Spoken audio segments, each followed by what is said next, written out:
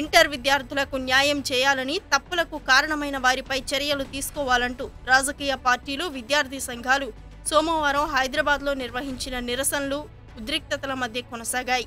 అవకతవకలకు బాధ్యులైన వారిని కఠినంగా శిక్షించాలంటూ నేతలు ముక్త కంఠంతో నినదించారు.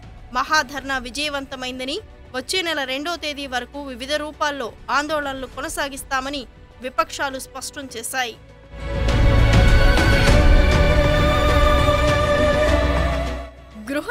నిర్బంధాలతో సోమవారం హైదరాబాద్ మరింత వేడెక్కింది. ఇంటర్ బోర్డు ముందు ప్రతిపక్షాల మహాధర్నా ప్రగతి భవన్ వద్ద నిరసనకు విద్యార్థుల యత్నం భాజపా రాష్ట్ర అధ్యక్షుడు లక్ష్మణ్ నిరాహార దీక్షలతో ఒక్కసారిగా ఆందోళనలు ఉధృతమయ్యాయి.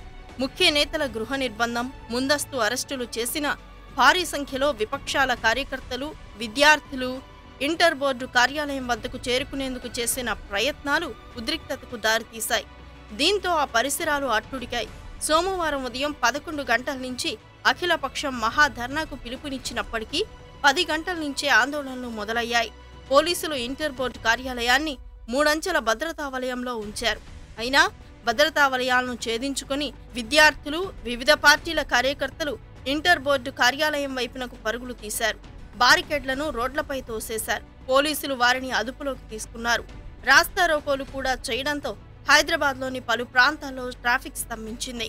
Congress Tedepa CPI CPM Telangana Janasamithi Janasena CPIML new democracy సహా NSIU ABVP AIDSO POW PDSU Telangana విద్యార్థుల తల్లిదండ్రుల సంఘం ఒకరి తర్వాత ఒకరిగా ఇంటర్ బోర్డు కార్యాలయం వద్దకు చేరుకునేందుకు చేసిన ప్రయత్నాలను పోలీసులు అడ్డుకునే క్రమంలో వాగ్వాదం ఉద్రిక్తత చోటు చేసుకున్నాయి.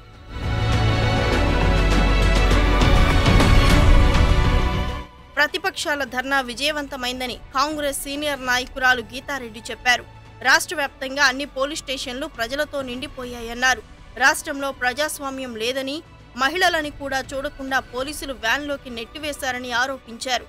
చనిపోయిన విద్యార్థుల కుటుంబాలకు యాభై లక్షల చొప్పున పరిహారం చెల్లించాలని డిమాండ్ చేశారు.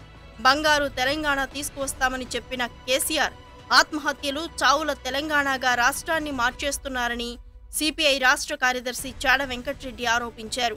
విద్యార్థులకు న్యాయం చేసే వరకు ఆందోళనలను కొనసాగిస్తామన్నారు. రాష్ట్ర ప్రభుత్వ తప్పిదాలతో ఇరవై మంది ఇంటర్ విద్యార్థులు ఆత్మహత్యలు చేసుకోవడం దారుణమన్నారు. ఇంతకుముందు ఏ ప్రభుత్వ హయాంలోనూ ఇలా జరగలేదని ఏబీవీపీ గ్రేటర్ హైదరాబాద్ కార్యదర్శి శ్రీహరి పేర్కొన్నారు.